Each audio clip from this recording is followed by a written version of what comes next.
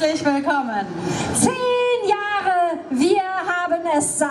Dieses Jahr muss das Jahr der Entscheidungen werden. Ja. Dieses Jahr. Es geht um die europäische Agrarpolitik. Es geht um den Klimaschutz, um die Artenvielfalt und um die Rettung der Höfe. Und es ist klasse, dass ihr alle, alle da seid. Bis hinten zur Goldliesel sehe ich Menschen und Traktoren, die heute nach Berlin gekommen sind. Danke dafür. Immer noch mehr. Ich möchte euch Jutta vorstellen. Sie ist Aktivistin. Sie hat ihr ganzes Leben dem einer besseren Landwirtschaft gewidmet. Unerschrocken und erfolgreich. Sie hat Felder von Gentechnik befreit und sie hat Kampagnen gegen Lidl gemacht, bis die endlich reagiert haben. Sie ist jetzt für Campact unterwegs und für die Aktion Agrar.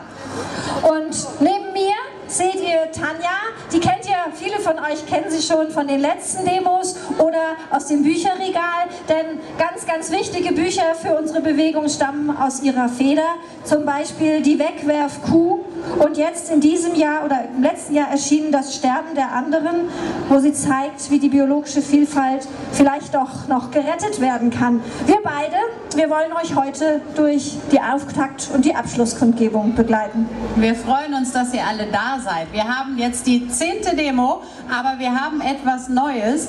Wir haben Gebärdendolmetscher hier vorne auf der Bühne direkt schräg vor mir und ich lade alle ein, die hören, aber verstehen wollen, was passiert wird hier auf der Bühne. Kommt zu Armin und Christiane, da ist nämlich Platz direkt am Gitter und alle, die hier vorne herkommen wollen, bitte lasst sie durch, damit alle mitbekommen, worüber hier heute reden.